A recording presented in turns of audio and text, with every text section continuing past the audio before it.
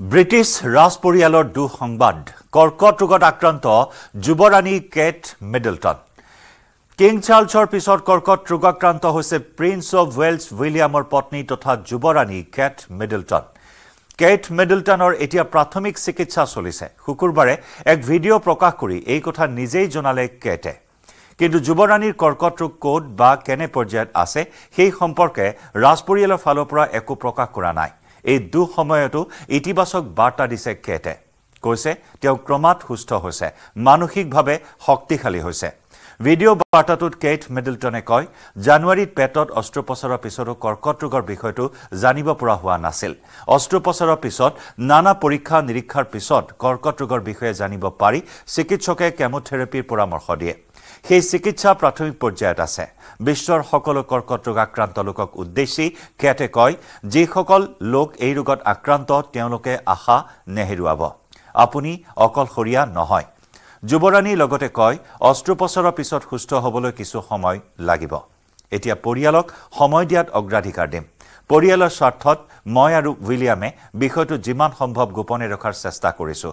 George চাৰ্ল্ট আৰু লুইৰ আগত সকলো ব্যাখ্যা কৰিবলৈ আৰু মই যে ঠিকে আছোঁ সেয়া বুজাবলৈ মোৰ আৰু উইলিয়ামৰ কিছু সময় লাগিছে এই এই মুহূৰ্তত মই আৰু আমাৰ পৰিয়ালে কিছু গোপনীয়তা বিচাৰোঁ I wanted to take this opportunity to say thank you personally for all the wonderful messages of support and for your understanding whilst I've been recovering from surgery. It has been an incredibly tough couple of months for our entire family, but I've had a fantastic medical team who have taken great care of me, for which I'm so grateful.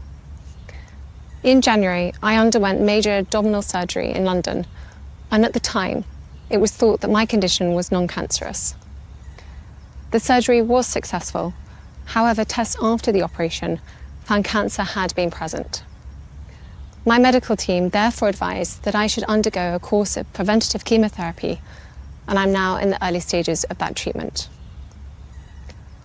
This, of course, came as a huge shock, and William and I have been doing everything we can to process and manage this privately for the sake of our young family. As you can imagine, this has taken time. It has taken me time to recover from major surgery in order to start my treatment. But most importantly, it has taken us time to explain everything to George, Charlotte, and Louis in a way that's appropriate for them and to reassure them that I'm going to be okay. As I've said to them, I am well and getting stronger every day by focusing on the things that will help me heal in my mind, body, and spirits. Having William by my side is a great source of comfort and reassurance too, as is the love, support, and kindness that has been shown by so many of you. It means so much to us both. We hope that you'll understand that as a family, we now need some time, space, and privacy while I complete my treatment. My work has always brought me a deep sense of joy, and I look forward to being back when I'm able. But for now, I must focus on making a full recovery. At this time, I'm also thinking of all those whose lives have been affected by cancer. For everyone facing this disease, in whatever form, please do not lose faith or hope. You are not alone. আহি পালে ৰঙৰ উৎসৱ ফাকুৱা মঙলদৈ নৃত্যাংগন সত্ৰীয়া সংগীত বিদ্যালয়ত হোলী গীতৰ কৰ্মশালা। কৰ্মশালাত অংশগ্ৰহণ কৰা শতাধিক কণ কণ শিশু ব্যস্ত হৈছে হোলী গীতৰ আখৰাত। শিল্পী গৌতম বায়নে হোলী গীতৰ প্ৰশিক্ষণ প্ৰদান কৰিছে কণ কণ শিশুসকলক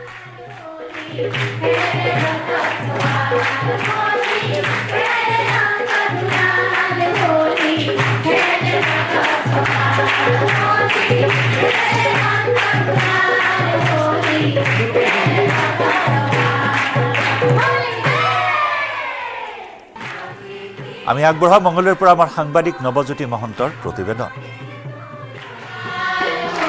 নিশ্চয়কৈ বসন্ত ৰঙৰ উৎসৱ ফাকুৱাক লৈ দেখিবলৈ পোৱা গৈছে। এতিয়া প্ৰান্তে প্ৰান্তে হোলী গীতৰ আখৰা চলাইছে। মই উপস্থিত আছোঁ মঙলদৈত আৰু মঙলদৈৰ কিছু কণ কণ শিশু মহিলাসকলে হোলী গীতৰ আখৰা চলাইছে। দেখুৱাইছোঁ এয়া মঙলদৈ সত্ৰীয়া সংগীত মহা বিদ্যালয়ৰ শিক্ষাৰ্থী লগতে কিছু মহিলা তেওঁলোকে হোলী গীতৰ আখৰা চলাইছে। এয়া তেওঁলোকে কৰ্মশালা অনুষ্ঠিত কৰিছে আৰু এই কৰ্মশালাত আহ, মঙলদৈ বিভিন্ন প্ৰান্তৰ শিশুসকলে শিক্ষাৰ্থীসকলে এই ধৰণে হোলী গীতৰ আখৰা চলাইছে। আমি হোলী গীতৰ মাজলৈ গৈছোঁ প্ৰথমতে।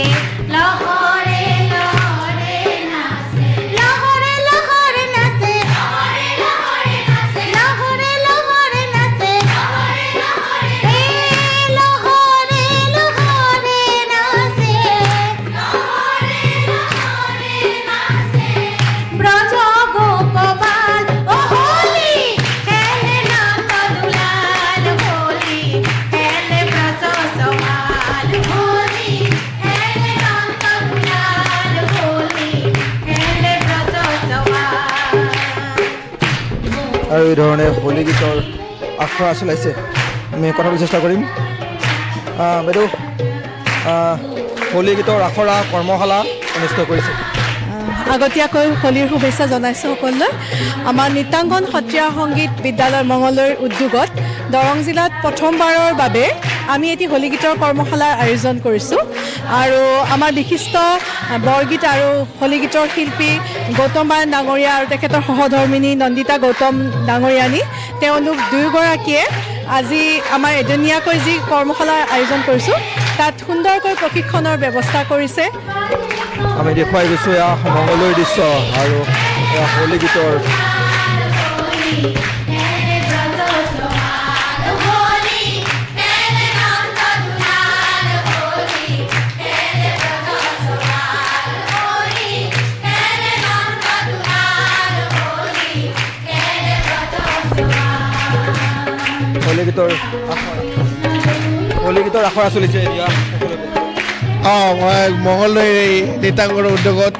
হোলীগীতৰ আখৰা। চলিছে প্ৰথমবাৰ কাৰণে হৈছে এইটো।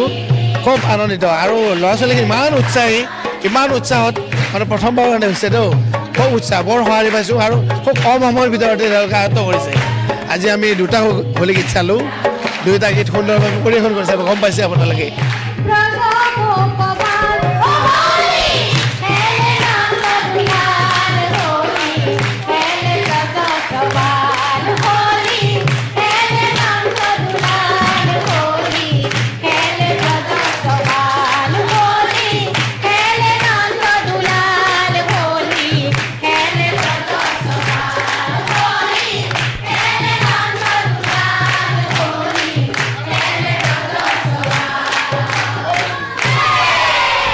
আৰু এই ধৰণে এতিয়া ৰাজ্যজুৰি দেখিবলৈ পোৱা গৈছে দৌল উৎসৱ ফাকুৱা উৎসৱক লৈ আক উৎসৱমুখৰ পৰিৱেশ আৰু এই ধৰণে হোলী গীতৰ আখৰা চলাইছে কণ কণ শিশু মহিলাসকলে।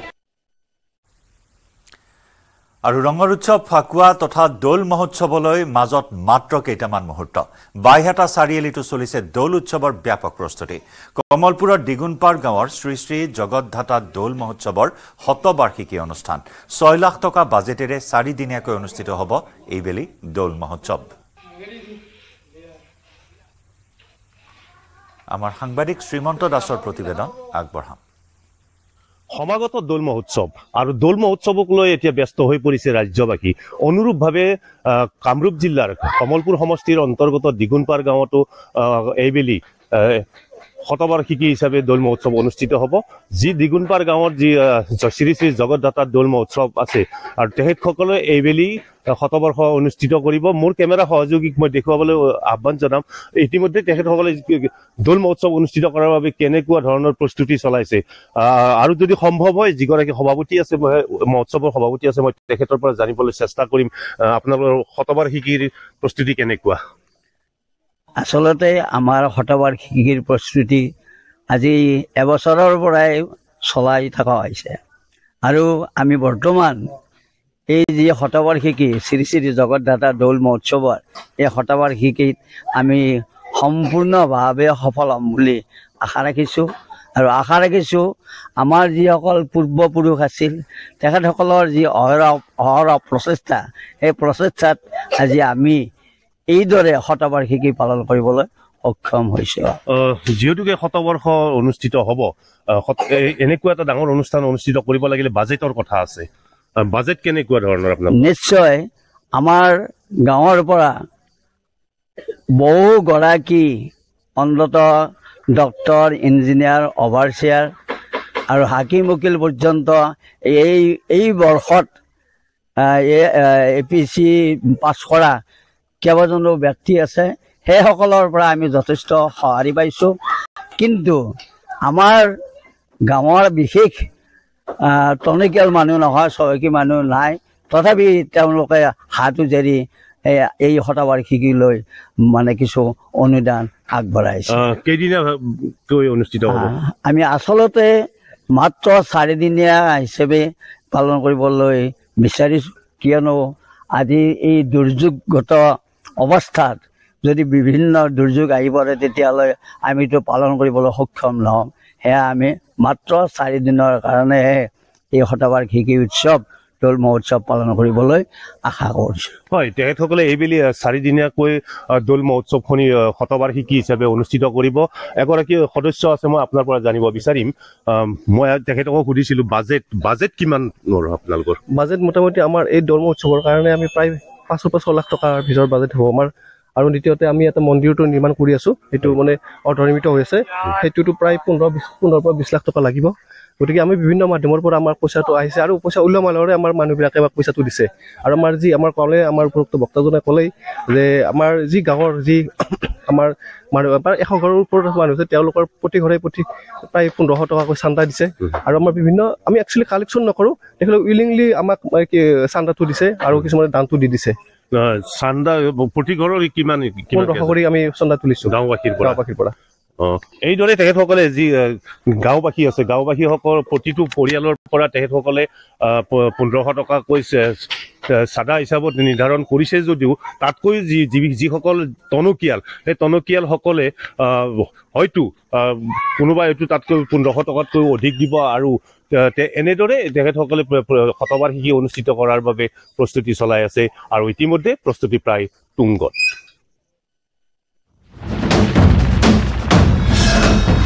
ভাৰতৰ গৌৰৱ গোটেই বিশ্বতেই ইয়াৰ সন্মান। ষ্ট্ৰং মানে মাইথান ষ্টীল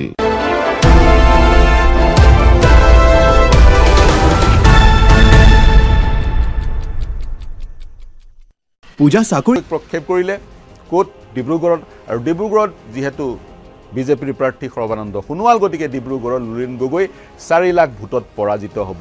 এই অংক হৈছে এই অংক পীযুষ হাজৰিকাৰ। তিনিওজন গগৈ আহোম সম্প্ৰদায়ৰ প্ৰতিনিধি স্বাভাৱিকতে আৰু আহোম সম্প্ৰদায়ে বিশেষকৈ উজনি অসমৰ সমষ্টিসমূহত সেয়া বিধানসভাৰ নিৰ্বাচনেই হওক বা লোকসভাৰ নিৰ্বাচনেই হওক এক নিৰ্ণায়ক ভূমিকা পালন কৰে।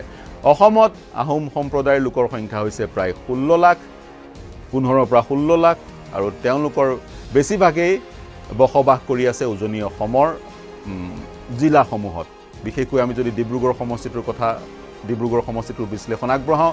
ডিব্ৰুগড় সমষ্টিটোত প্ৰায় বাৰৰ পৰা তেৰ লাখ ভোটাৰ্ছ আৰু তাৰে তিনিৰ পৰা চাৰি লাখ আহোম সম্প্ৰদায়ৰ লোক আৰু ডিব্ৰুগড় সমষ্টিটোত চাহ জনগোষ্ঠীৰ লোকসকলেও নিৰ্ণায়ক ভূমিকা পালন কৰে। গতিকে আহোমসকলে এক নিৰ্ণায়ক ভূমি- ভূমিকা আগৰ পৰাই পালন কৰি থকাৰ পৰিপ্ৰেক্ষিতত তিনি গগৈৰ প্ৰসংগটো বাৰম্বাৰ উত্থাপন হৈছে। অখিল গগৈও নিশ্চিতি দিছে তেওঁৰ দলটোৱে সম্পূৰ্ণ সমৰ্থন আগবঢ়াব। গৌৰৱ গগৈক আন নালাগে শিৱসাগৰ জিলাত বা অখিল গগৈৰ সমষ্টিত গৌৰৱ গগৈ আৰু অখিল গগৈয়ে একেলগে নিৰ্বাচনী ৰেলী কৰাৰো পৰিকল্পনা কৰিছে। অনাগত সময়ত এই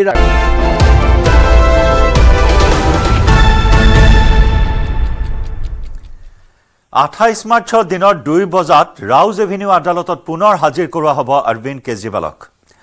ছদিন ধৰি ইডিৰ জিম্মাৰ কালচোৱাত কেজৰিৱালে প্ৰতিদিনে পত্নী সুনীতা কেজৰিৱালক আধা ঘণ্টা সাক্ষাৎ কৰিব পাৰিব। আধা ঘণ্টাৰ বাবে সাক্ষাৎ কৰিব পাৰিব কেজৰিৱালৰ ব্যক্তিগত সচিব বিভৱ কুমাৰক। প্ৰতিদিনে সন্ধিয়া ছয়ৰ পৰা সাত বজাৰ ভিতৰত আধা ঘণ্টাৰ বাবে সাক্ষাৎ কৰিব পাৰিব অধিবক্তাক। কেজৰিৱালৰ হৈ জ্যেষ্ঠ অধিবক্তা অভিষেক মনু সিংভি বিক্ৰম চৌহান আৰু ৰমেশ গুপ্তাই আদালতত যুক্তি দৰ্শায়। ইডিৰ হৈ আদালতত যুক্তি দৰ্শাইছে এডিশ্যনেল চলিচিটৰ এছ বি ৰাজুৱে। আদালতত কেজৰিৱালে হাইপাৰ গ্লেচিমিয়া নামৰ ৰোগত আক্ৰান্ত হোৱাৰ বাবে ঘৰৰ খাদ্য বিচাৰি অনুমতি জনাইছে। আদালতে তেওঁৰ আবেদন স্বীকাৰ কৰি চিকিৎসা আৰু ঔষধ সময়মতে কৰাৰ অনুমতি প্ৰদান কৰিছে। চিকিৎসকৰ পৰামৰ্শ অনুসৰি কেজৰিৱালক আহাৰ দিয়াৰ বাবেও আদালতে নিৰ্দেশ দিছে। যদি ই ডিয়ে চিকিৎসকে দিয়া পৰামৰ্শ অনুসৰি আহাৰ যোগান ধৰিব নোৱাৰে তেন্তে ঘৰৰ পৰাই আহাৰ দিয়াৰ বাবে অনুমতি প্ৰদান কৰে।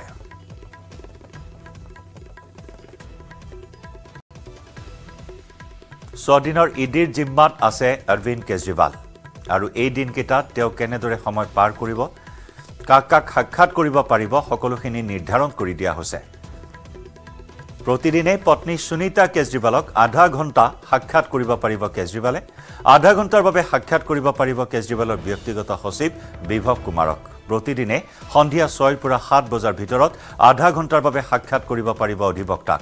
কেজৰিৱালৰ হৈ জ্যেষ্ঠ অধিবক্তা অভিষেক মনু সিংভি বিক্ৰম চৌহান আৰু ৰমেশ গুপ্তাই আদালতত যুক্তি দৰ্শায়।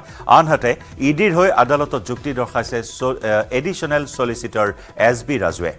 আদালতত কেজৰিৱালে হাইপাৰ গ্লেচিমিয়া নামৰ ৰোগত আক্ৰান্ত হোৱাৰ বাবে ঘৰৰ খাদ্য বিচাৰি অনুমতি জনাইছে। আৰু আদালতেও তেওঁৰ আবেদন স্বীকাৰ কৰি চিকিৎসা আৰু ঔষধ সময়মতে যাতে পায় সেই ক্ষেত্ৰত অনুমতি প্ৰদান কৰিছে। চিকিৎসকৰ পৰামৰ্শ অনুসৰি কেজৰিৱালক আহাৰ দিয়াৰ বাবেও আদালতে নিৰ্দেশ দিয়ে। যদি ইডিয়ে চিকিৎসকে দিয়া পৰামৰ্শ অনুসৰি আহাৰ যোগান ধৰিব নোৱাৰে তেন্তে ঘৰৰ পৰাই আহাৰ দিয়াৰ বাবেও অনুমতি দিছে।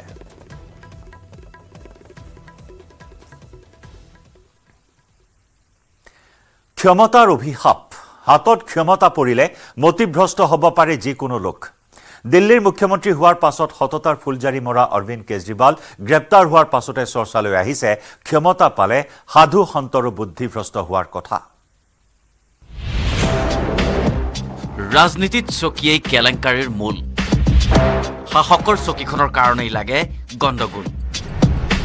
লংকালৈ যিয়েই যায় সিয়ে হেনো ৰাৱণ হয়। এই কথাকেইটা এজন বিশেষ নেতা। বিগত চৌবিশ ঘণ্টা ধৰি চৰ্চাত আছে নেতাজন। আপোনালোকে নিশ্চয় ধৰিব পাৰিছে কাৰ কথা কৈছো। দিল্লীৰ সুৰা কেলেংকাৰীত জড়িত হৈ ইডিৰ হাতত গ্ৰেপ্তাৰ হোৱা মুখ্যমন্ত্ৰী অৰবিন্দ কেজৰিৱালে খলকনি তুলিছে। সমগ্ৰ দেশতে আপৰ নেতা অৰবিন্দ কেজৰিৱালৰ প্ৰসংগ এতিয়া চৰ্চাত আছে। দুৰ্নীতি ভ্ৰষ্টাচাৰৰ বিৰুদ্ধে আন্দোলন কৰি চৰকাৰ গঠন কৰিবলৈ সক্ষম হোৱা সেই কেজৰিৱালেই এতিয়া গ্ৰেপ্তাৰ হৈছে কেলেংকাৰীত সাঙুৰ খাই। ৰাজনীতিৰ চকীখন হেনো কেলেংকাৰীৰ অন্যতম কাৰণ। আৰু সেই চকীত যিজনেই বহে তেওঁৱে সোমাই দুৰ্নীতিৰ চক্ৰবৃদ্ধি চাই লওঁ আহক এটা বিশেষ বক্তব্য। ইছ কুৰ্চি কে অন্দৰ কুছ না কুছ সমস্যা হয় जो इस कुर्सी के ऊपर बैठता है वही गड़बड़ हो जाता है। तो कहीं ऐसा तो नहीं कि इस आंदोलन से जब विकल्प निकलेगा और वो लोग जब कुर्सी पे जाके बैठेंगे कहीं वो ना भ्रष्ट हो जाएँ, कहीं वो ना गड़बड़ करने लगें, ये एक भारी चिंता है हम लोगों के मन में। প্ৰবীণ গান্ধীবাদী নেতা আন্না হাজাৰেৰ সৈতে আন্দোলন কৰাৰ সময়তে এই বক্তব্য আগবঢ়াইছিল অৰবিন্দ কেজৰিৱালে। তেওঁ আশংকা কৰিছিল যে আন্দোলনৰ শেষত ৰাজনীতিৰ চকীত বহিবলৈ গৈ সকলো ৰাৱণ নহয়তো। কিন্তু গৈ থৈ সেয়াই হ'লগৈ শেষত। দুৰ্নীতিৰ পৰা শতযোজন দূৰৈত থকা বুলি ভবা দেশৰ ভিতৰতে নিকা ৰাজনীতিক বুলি ভাবি থকা অৰবিন্দ কেজৰিৱাল গ্ৰেপ্তাৰ হোৱাৰ পিছতেই দেশজুৰি সৃষ্টি হৈছে প্ৰতিক্ৰিয়াৰ। সততাৰ ৰাজনীতিৰে দুখনকৈ ৰাজ্যত চৰকাৰ গঠন কৰিবলৈ সক্ষম হোৱা কেজৰিৱালৰ নতুন ৰূপক লৈ এতিয়া চলিছে ব্যাপক চৰ্চা। Bureau' report news eighteen Assam north east.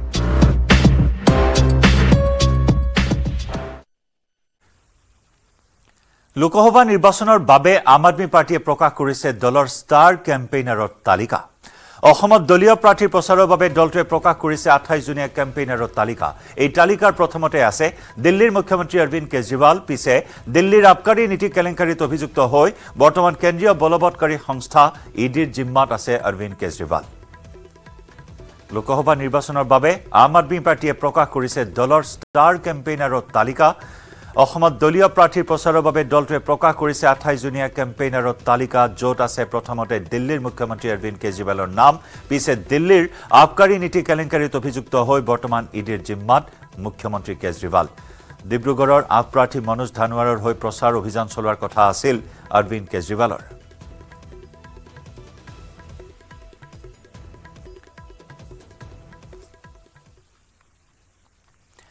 Rongali বিহুলৈ মাজত মাথো কেইটামান দিন থকা অৱস্থাত এতিয়া ব্যস্ততা বৃদ্ধি পাইছে লোকবাদ্য নিৰ্মাণ কৰা শিল্পীসকলৰ। ধেমাজিৰ সুনীল বাদ্য ভাণ্ডাৰতো দেখিবলৈ পোৱা হৈছে গ্ৰাহকৰ ভিৰ। প্ৰতি বছৰে শতাধিক নতুন ঢোল বিক্ৰী কৰাৰ লগতে চাৱনি কৰি দিছে শতাধিক ঢোলৰ।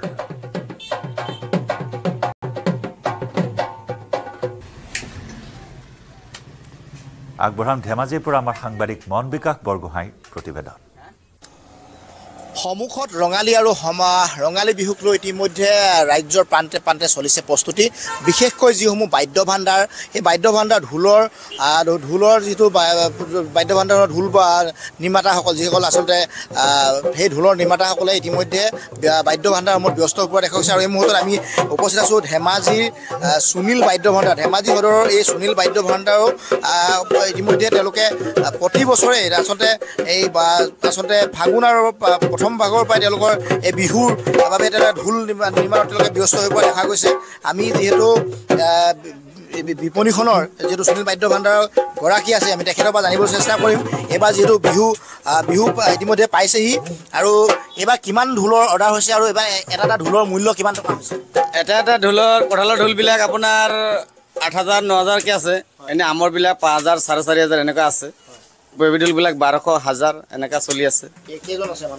মোৰ ইয়াত বৰ্তমান তিনিজন মানুহ কাম কৰি আছে।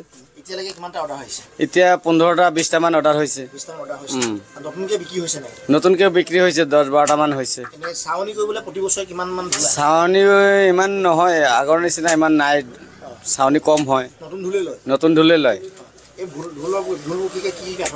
এনেই কঁঠালৰ আছে আমৰো আছে। এই দুই দুই ভিতৰে হয়।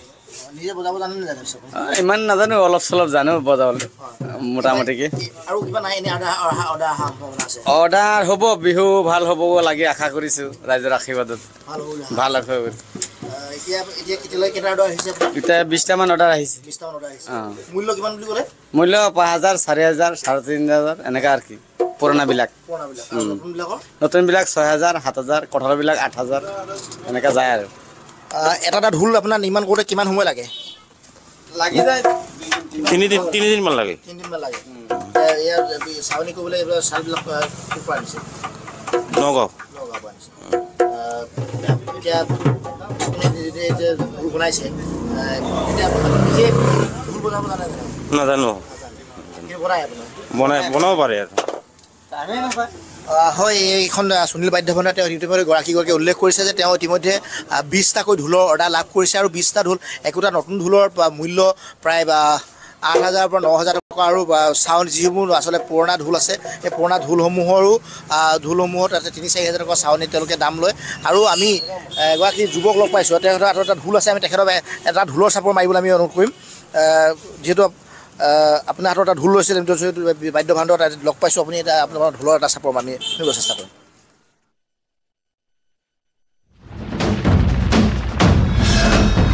ভাৰতৰ গৌৰৱ গোটেই বিশ্বতেই ইয়াৰ